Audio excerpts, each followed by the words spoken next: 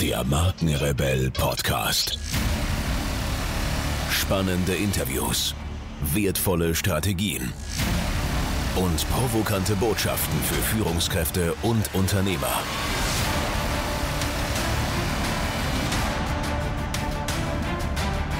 Stell dich den Herausforderungen der Digitalisierung und setze als Marke ein Zeichen. Von und mit Markenrebell Norman Glaser. Die vier Megatrends der Digitalisierung. Analytics, Social, Mobile und Cloud. Arbeit, unabhängig von Ort und Zeit, die von Menschen rund um den Globus an von ihnen gewählten Arbeitsplätzen zu der von ihnen bestimmten Zeit erledigt wird. So lässt sich die neue Arbeitswelt grob in wenigen Worten beschreiben. Dabei können derzeit vor allem vier Megatrends beobachtet werden. Analytics, Social, Mobile und Cloud. Diese sorgen für grundlegende Veränderungen der Arbeitswelt und können dir beim richtigen Umgang mit ihnen jede Menge Vorteile bringen, sich bei falscher Herangehensweise jedoch auch nachhaltig auswirken. Du solltest dich daher eingehend mit diesen vier Megatrends der Digitalisierung auseinandersetzen, um rechtzeitig die notwendigen Veränderungen einleiten zu können. Wir haben im folgenden Artikel die wichtigsten Infos zu Analytics, Social, Mobile und Cloud für dich. Analytics, Social, Mobile und Cloud verändern die Arbeitswelt. Die Arbeitswelt ist heute dadurch charakterisiert, dass jeder mit jedem in Kontakt ist. Kommunikation findet nicht mehr hierarchisch statt, sondern kreuz und quer über alle horizontalen und vertikalen Ebenen hinweg. Dies hat sich schon seit längerer Zeit abgezeichnet, ist jedoch durch die Entwicklungen der jüngsten Vergangenheit stark beschleunigt worden. Dabei haben sich vor allem vier Megatrends herauskristallisiert. Analytics, Social, Mobile, Cloud. Die Ursprünge dieser Trends befinden sich an unterschiedlichen Zeitpunkten. Gegen Ende der Null-Nuller Jahre flossen sie jedoch zusammen, sodass sie nun sowohl einzeln als auch gemeinsam eine wesentliche Bedeutung für die Entwicklung der Welt haben. Und das gilt sowohl für unser aller Privatleben als auch die Jobwelt. Heute gelten diese Trends als die hauptsächlichen Treiber von Innovationen und erlangen daher eine immer größer werdende Bedeutung für Unternehmen.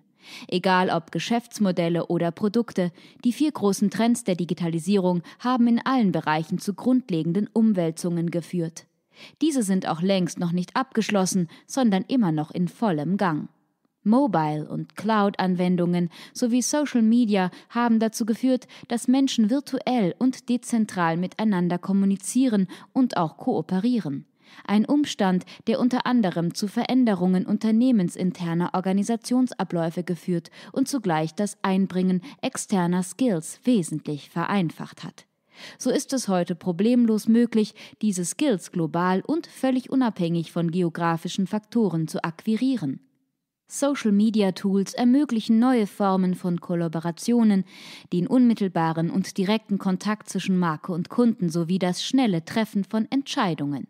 Diese Form der Kommunikation führt wiederum dazu, dass Unternehmen plötzlich riesige Mengen an Daten zu Performance- und Arbeitsprozessen zur Verfügung haben. Auf diese Weise erhalten sie grundlegende Insights in unternehmensinterne Vorgänge sowie wertvolles Feedback von ihrer Zielgruppe. Beides kann und sollte zielgerichtet zur Optimierung der Marke sowie ihrer Produkte und Leistungen eingesetzt werden. Dies ist ein absolutes Muss, da der Kunde mit seinen Bedürfnissen und Anforderungen stets im Mittelpunkt aller Marketingbestrebungen stehen sollte. Und der moderne Kunde ist ein mündiger Kunde, der sehr genau prüft, hinterfragt und vergleicht, bevor er eine Entscheidung trifft. Das gilt übrigens nicht nur für Kunden, sondern auch für Mitarbeiter. Deren Erwartungen und Anforderungen müssen daher ebenfalls einen deutlich höheren Stellenwert erhalten. Die Analyse und der Zugriff auf Daten spielen eine fundamentale Rolle für die Erhöhung der Mitarbeiterkompetenz, das Treffen der richtigen, faktenbasierten Entscheidungen und letztendlich auch den Unternehmenserfolg. Was auf den ersten Blick überaus logisch und schlüssig klingt, scheitert in der Realität allerdings meist noch an der Umsetzung. Das heißt konkret, Führungskräfte müssen den Wandel annehmen und vorantreiben. Sie müssen die Mitarbeiter motivieren, damit diese den Wandel mittragen. Es müssen Konzepte für Kompetenz- und Personalentwicklung, unternehmensinternes Employer Branding sowie Recruiting angefertigt werden.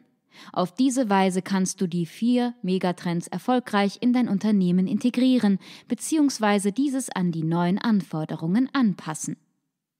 Megatrend Nummer 1 Analytics das Sammeln und Auswerten relevanter Daten ist einer der wichtigsten Erfolgsfaktoren für Unternehmen im digitalen Zeitalter.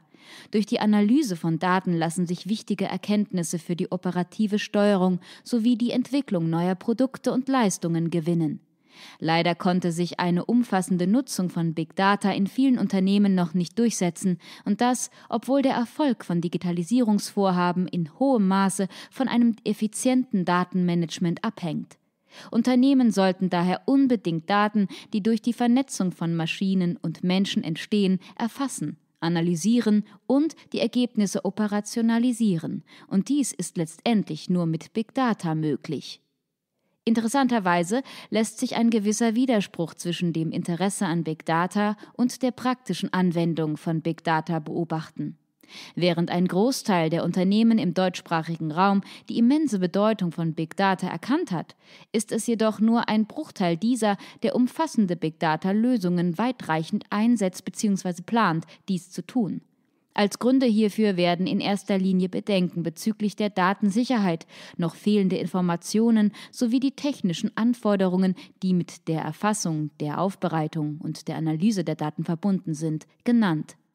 Hier steht jedes Unternehmen vor der Aufgabe, für sich selbst eine individuelle Lösung, die sich an den Möglichkeiten im sowie den Anforderungen an das Unternehmen orientieren, zu finden.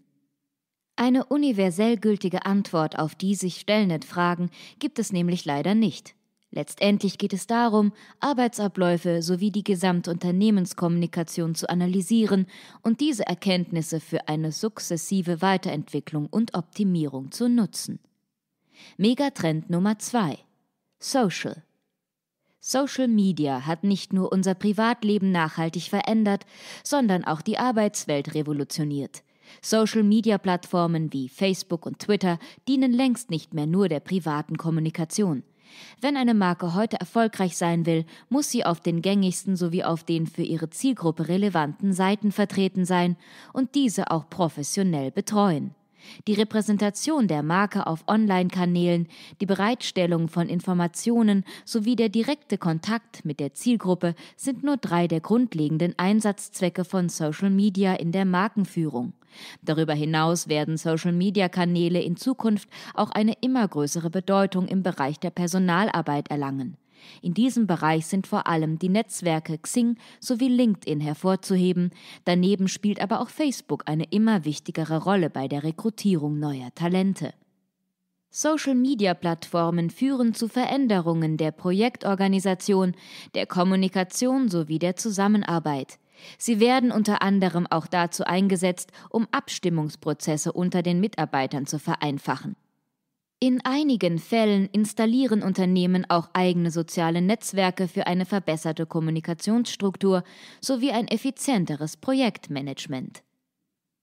Digitale Plattformen haben aber noch einen weiteren wesentlichen Vorteil. Sie ermöglichen die Einbindung externer Arbeitskräfte wie Freelancer in Unternehmensprozesse.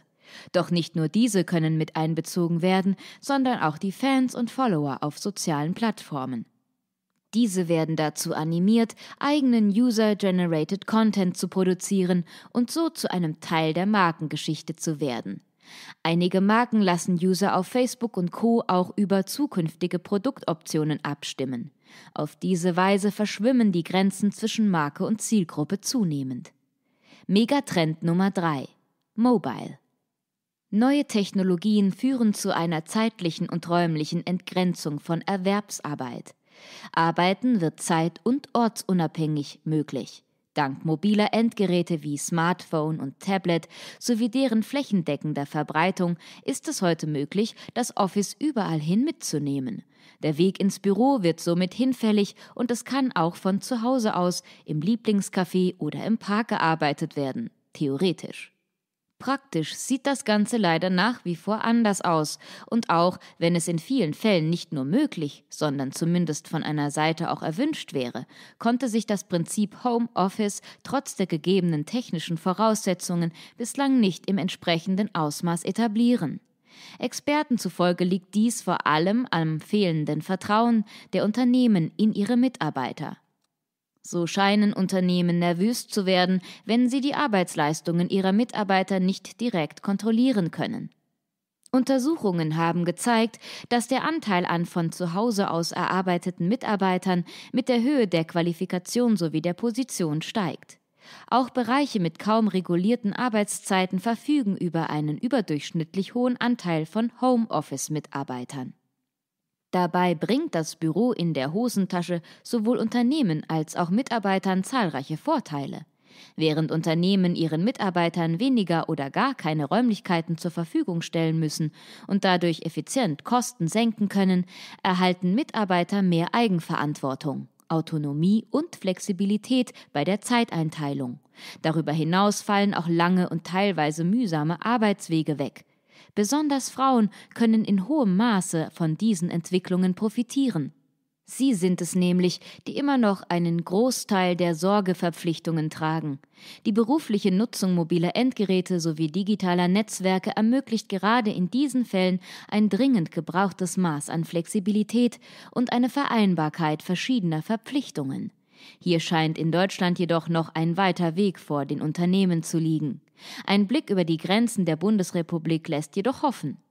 So haben Arbeitnehmer in den Niederlanden seit dem Jahr 2017 einen Rechtsanspruch darauf, ihre Erwerbstätigkeit von zu Hause aus auszuführen. Verweigert der Arbeitgeber diesen, muss er hingegen nachweisen können, dass die betrieblichen Erfordernisse die Durchsetzung dieses Rechtsanspruches nicht erlauben.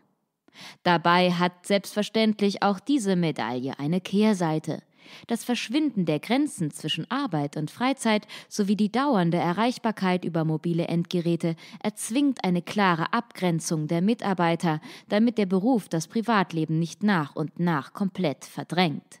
Auch das fällt in den Bereich größerer Selbstverantwortung und Autonomie. Permanente Erreichbarkeit sollte keinesfalls das Ziel des Einsatzes neuer Technologien sein.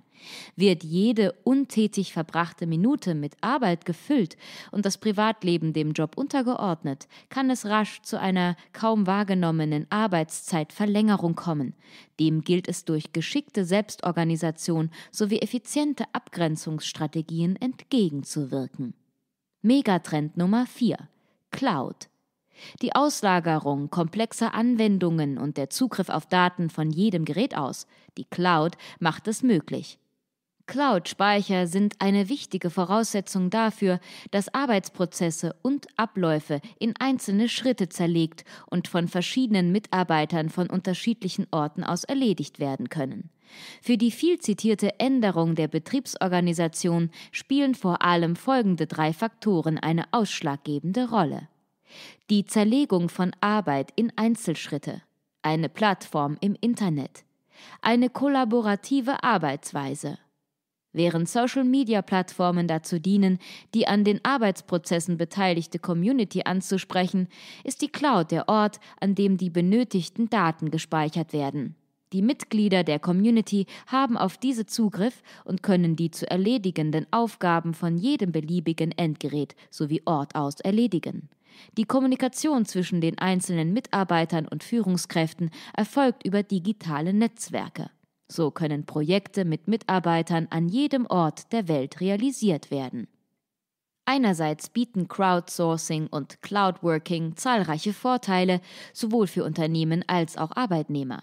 So können Unternehmen externe Arbeitskräfte in Arbeitsprozesse mit einbeziehen und global Talente rekrutieren. Dadurch haben wiederum auch potenzielle Mitarbeiter aus strukturschwachen sowie entlegenen Gegenden die Möglichkeit, unabhängig von ihrem Wohnort für internationale Arbeitgeber tätig zu sein. Zudem wird Arbeitnehmern größere Flexibilität gewährt und sie müssen ihren Wohnort nicht mehr automatisch an den Ort des Unternehmenssitzes verlegen. Andererseits birgt diese Auslagerung in einigen Fällen auch gewisse Risiken, wie zum Beispiel einen steigenden Konkurrenzdruck durch eine größere Anzahl von Mitbewerbern und die verstärkte Auslagerung des unternehmerischen Risikos auf Mitarbeiter. Alles in allem wird sich diese Entwicklung, die von vielen Unternehmen bereits erfolgreich umgesetzt wurde, früher oder später auch großflächig durchsetzen. Die Arbeitswelt verändert sich nachhaltig. Strikt verlaufende Hierarchien, Datensilos und örtlich fixierte Arbeitsplätze gehören bereits heute zum Teil der Vergangenheit an. Soziale Medien, mobile Endgeräte und cloudbasierte Speicher machen die ganze Welt zum Office und ermöglichen es, zeit- und ortsungebunden zu arbeiten. Auch wenn die Entwicklungen in diese Richtung momentan noch schleppend vorangehen, sind die Weichen für die Zukunft dennoch klar gestellt.